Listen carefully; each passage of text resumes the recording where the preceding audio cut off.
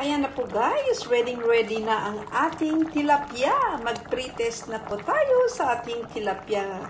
Ayan, na with ginataang talong. Sa hindi pa pala nakapanood sa aking uh, eggplant na with uh, coconut cream, ilalagay ko po dito ang kanyang link. Panoorin nyo po, ang sarap-sarap talaga po. Ayan.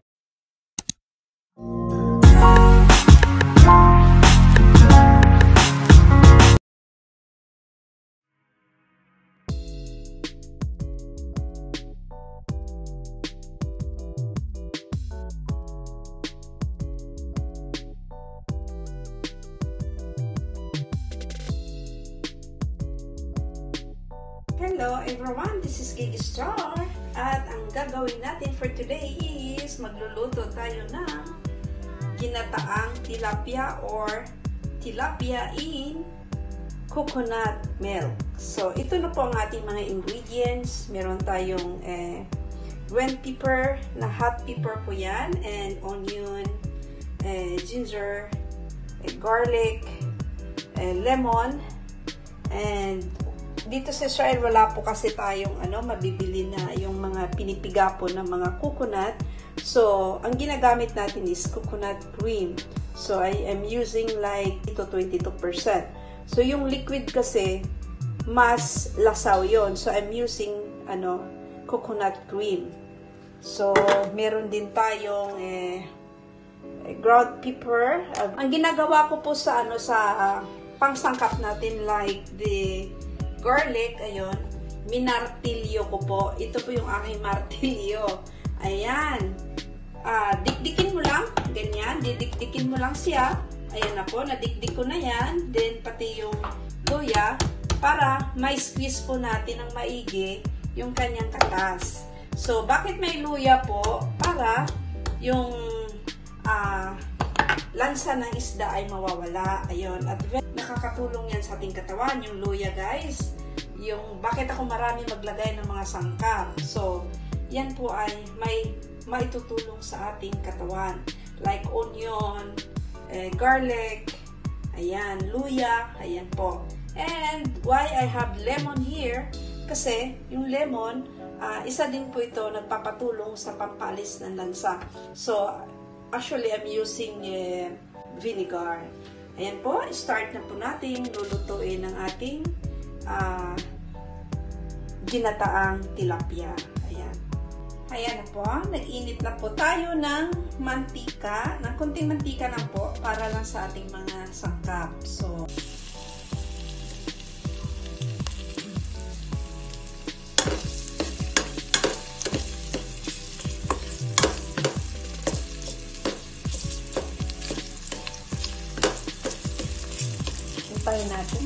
mag-brown-brown.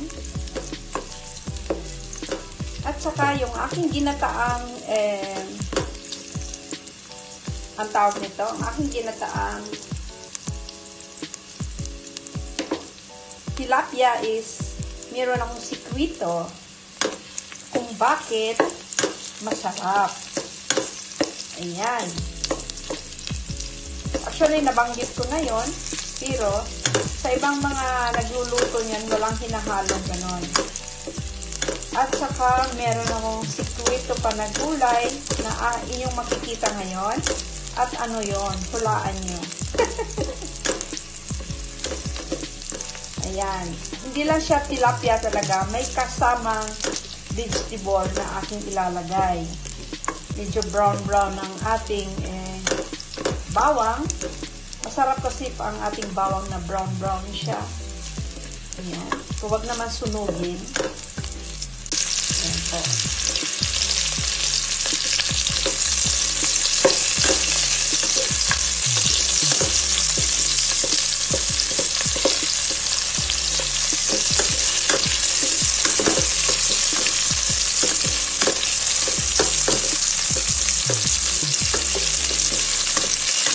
lumbot ng ating onion.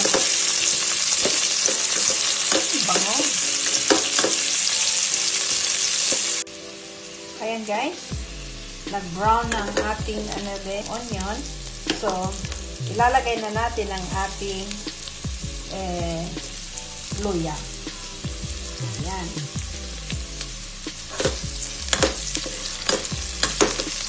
Yun, ito na po ang aking sikrito. Ang talong. Ayan, ito po yun guys. Kaya hindi ko pinakita sa inyo. Yun pong talong. Parang igigisa natin yung talong. Uh, hiniwa ko po siya ng stripe. Mahahaba. Hindi siya yung maiksi. Ayan. Kung gaano kahaba yung talong, mas okay. Ayan po.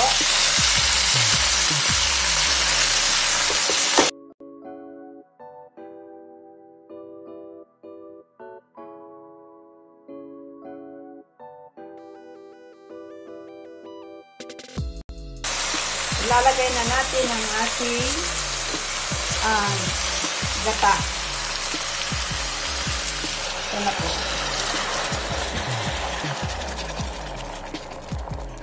Siya. Ito po ang aking sikrito sa aking ginataang tilapia. Hahaluan natin siya ng uh, talong. Pero hihiwain natin niya into stripe.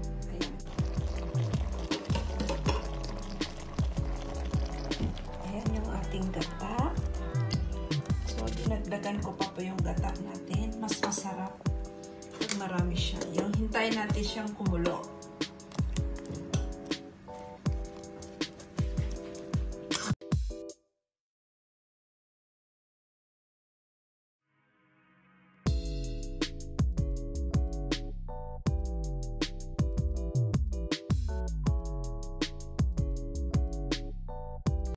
Iba mahilig pong mag ano, maglagay ng eh, patis. You can add patis, but me hindi ko kasi hilig yung may amoy. So, ganyan lang po ang sa akin. So, yan. Kumukulo na po siya. Pinakuluan na natin yung ating gata. Kasama na po ang ating talong.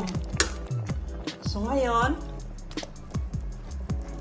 ilalagay na natin ang eh,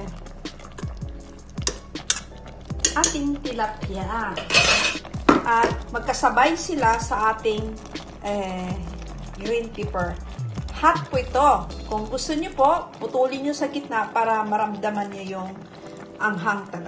So, ito na po ang ating tilapia. Ayan na. Lalaki po na klase itong ating tilapia. Ayan na po ang ating tilapia. At ngayon ay tatakpan natin. Ito na po guys. After 5 minutes, nakita nyo na po. Uh, kumukulo-kulo na. Ayan. So, hilaw pa yung ating isda. Tuloy-tuloy lang po. Ayan. So, nakita nyo po parang dumadami yung ano niya, yung gata. Dahil po yung talong, nakita po niyo yung talong, nagtutubig po yan. Ayan.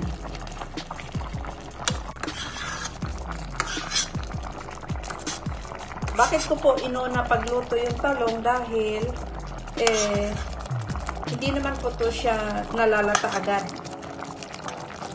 Sabay lang po din din yan sila sa isda. Ito po yung talong ng Israel, yung malalaking klase. Ayan. Dapat siya lumubog. Mas masarap. Buong katawan niya ay lumakon sa, sa gata niya. So, yan guys. Abangan po ang ating ginataang eh, tilapia. So, yung pinakahuli kong ilalagay alam niyo na yon. Yun po yung aking turo ng aking ama. Sa lahat ng ulam po ay naglalagay po tayo ng uh, timplang ganun. Ayan. Ayan na po guys. Malapit na malapit na maluto ang ating ginataang tilapia. So, ngayon, ilalagay ko na ang ating pinaka uh, sikretong panangkap. So, yung lemon po. Ito po yung uh, lemon na in-squeeze ko, yung half. So, ilalagay na po natin. So, pag meron kasing lemon dye, bukod dun sa ano, bukod dun sa uh, lansa niya, at ito'y nagbibigay din ito ng ano, um, hindi ka mauumay agad sa kinakain mo. So, ang sarap talaga po pag may lemon. So, sa father ko naman, ang tinuturo niya sa akin kahit isang kutsara na suka or vinegar. 1 tablespoon pag wala kang lemon or else kung meron kayong kalamansi, mga tatlo-apat na kalamansi, pwede na. So, kung meron kayong lime, yung green na ano, green na lemon, para siyang lemon pero lime ang tawag doon. Pwede din po doon. Ilalagay nyo. So, ang sa akin po is, ang available ko dito is lemon. Ayan po guys. Ayan, malapit na natin siyang hahanguin. Ayan na po guys. Ready ready na ang ating tilapia. Mag-pretest na po tayo sa ating tilapia. Ayan, na with ginataang talong. Sa hindi pa pala nakapanood sa aking uh, eggplant na with uh, coconut cream, ilalagay ko po dito ang kanyang link. Panoorin nyo po, ang sarap-sarap talaga po. Ayan. Ito na po, napakasarap ang ating ginataan. And ready ready na siyang kakainin. So, yung ating gata. Mmm. Sarap. Pag ginataan talaga eh, manamis-namis ang gata. So, yung talong, ayan po. Paborito ko yan. Mmm. Perfect na perfect. So, titikman na natin yung laman. Ito tayo. Wow. So, yummy. Ito na po ang laman, guys. Mmm. Sarap. Wala kayong maaamoy na ano. Um, yung lansa. Wala. Dahil, meron tayong um, luya at meron tayong eh, lemon. Ayan po. Ang lemon, actually, hindi nyo sila ma, ma yung maasim na maasim. Hindi po. Uh, nagpapaalis lang yun ng ano, umay at pampalis din ng lansa ng isda. Ayan po, guys. Mm, sarap. Mm. At ang ating talo, perfect na perfect talaga. Talong na ginataan, ayun. Ang sarap. Subukan nyo po, guys. Napakamurang halaga lang po. Friendly budget at buong pamilya ay masasarapan na ng kain.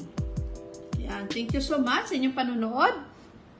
Kung bago ka pa lang sa aking channel, uh, don't forget to subscribe. Ayun. Um, likes and share.